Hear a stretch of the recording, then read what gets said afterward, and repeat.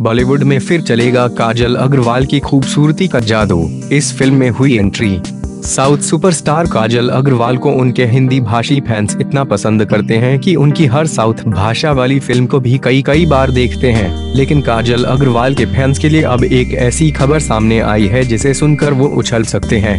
जी हाँ लंबे समय बाद काजल अग्रवाल की खूबसूरती का जादू हिंदी सिनेमा में नज़र आने वाला है। अब दर्शकों को काजल की खूबसूरती और जॉन अब्राहम के एक्शन का ज़बरदस्त कॉम्बो नज़र आने वाला है, क्योंकि फ़िल्म मेकर संजय गुप्ता अपनी आगामी फ़िल्म मुंबई सागा में उन्हें साइन कर चुके हैं। हमारी सहयोगी वेबसाइट डीएनए की खबर के अनुसार काजल अग्रवाल ने फ़िल्म में एंट्री कर ली है।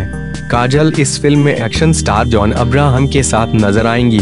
कल यानी मंगलवार को फ़िल्म की शूटिंग एक दिन पहले मुंबई में हुई थी और जॉन इस शेड्यूल का हिस्सा थे। छह साल के अंतराल के बाद, संजय गुप्ता मुंबई सागा के साथ अपनी शैली की गैंगस्टर एक्शन में वापस आ गए हैं। काजल और जॉन के अलावा फ़िल्म में सुनील शेट्टी जैकी श्रॉफ गुलशन ग्रोवर, रोहित रॉय, समीर सोनी, अमोले गुप्ते और प्रतीक बब्बर जैसे अभिनेता नज़र आएँगे। काजल ने वैसे तो साउथ में कई फ़िल्मों में काम किया है, लेकिन बॉलीवुड में उन्हें सिंघम गर्ला के नाम से जाना जाता है।